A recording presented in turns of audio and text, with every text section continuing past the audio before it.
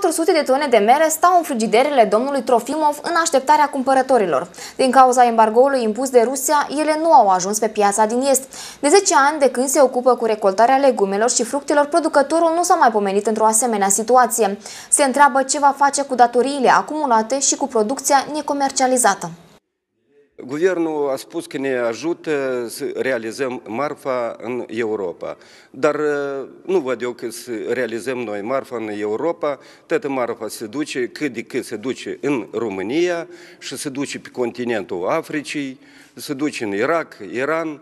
Înainte de a străca relațiile cu un partener bun, noi trebuie să-l uh, căutăm pe altul.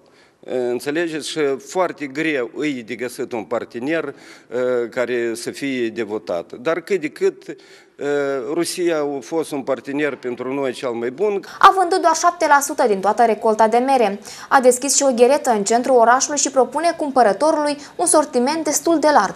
Din uh, tot ce am realizat, am realizat pe piața noastră internă, uh, am realizat, uh, vreau să vă spun că mai mult în orășelul Strășeni. Toate vânzările este asta e ca cum aș pierde un ac într-un stoc de fân. Trofimul Vasile încă nu a primit ajutorul financiar din partea guvernului pentru compensarea pierderilor, deși a depus dosarul necesar.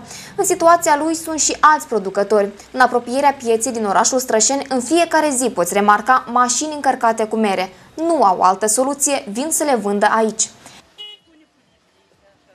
De, de cât timp vindeți? Începem să strâns mare de atunci.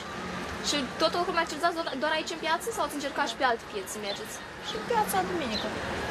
Aproximativ câte kilograme vindeți pe zi? Cât pălăzi?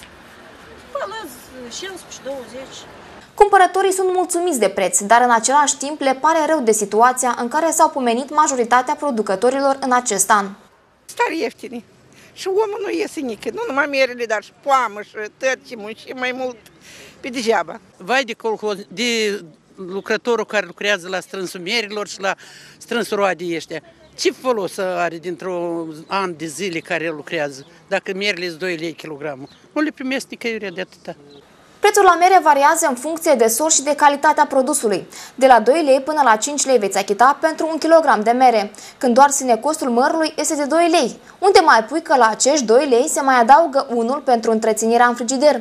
Anul acesta, cel mai bucuros este cumpărătorul, iar sărmanii producători și-au pierdut somnul. Se gândesc zi și noapte la merele din frigidere, care, dacă în decursul a două, trei luni nu vor fi vândute, vor fi aruncate la gunoi.